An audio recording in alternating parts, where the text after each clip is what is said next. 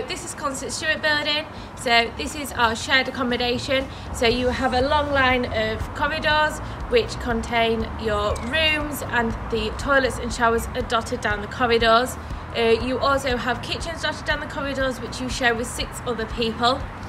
Um, it's ideal if you have lectures in Constance Stewart building as they are at the other side of the building so if it's raining you can roll straight out of bed and walk down the corridor to your lectures.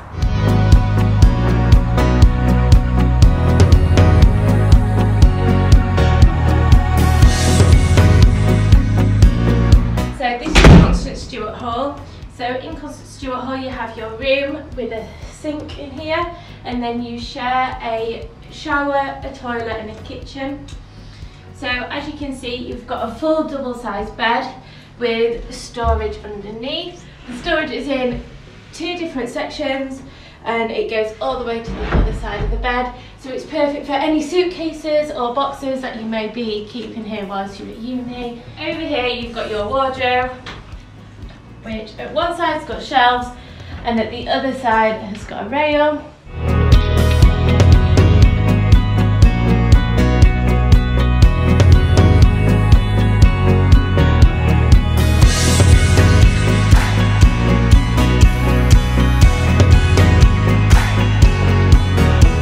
So this is your communal area and kitchen. So as you can see, this is your communal area, which is great if you want to have friends round.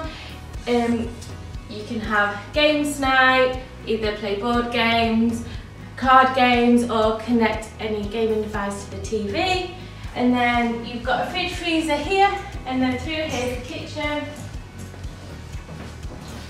where you've got another fridge freezer as well as allocated cupboard space and drawer space so you get enough storage between everyone.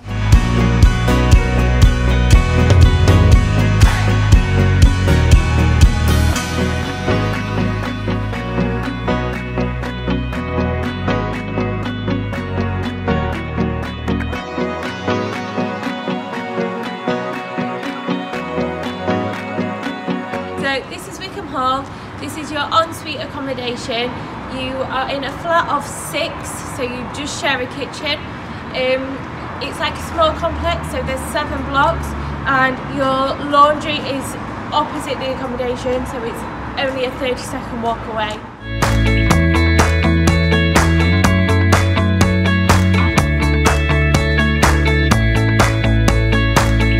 So this is Wickham Halls. So can see here, you've got a bed which is just sort of a double bed and underneath it's got storage so which is ideal for any suitcases or boxes that you might bring with you. And you've got a chair in the corner in front of the window. And then you've got your desk here which is ideal for studying with storage drawers in there as well as well as two shelves on top. And then we've got the wardrobe space which has got lots of storage plenty if you have a lot of clothes um, we've got plenty of wardrobe space in there as well as shelves and cupboards on top and drawers down here. And then through here, you've got your ensuite. So you've got your toilet, your sink and your shower in your room, which is ideal because you don't have to worry about waking people up if you want to have a shower, if you're busy late at night or early in the morning if you've got placement. So in Wickham Halls, you live with five other um, students so they may be on the same course as you or they may be not.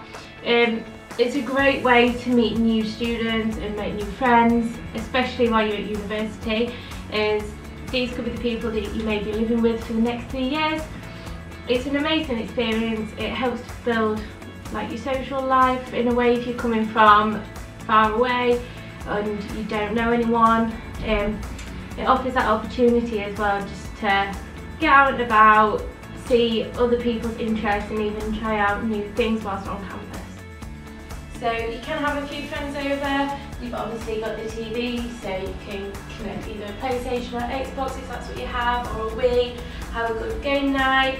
You've obviously got the table so you can sit around and have game night, a few drinks maybe.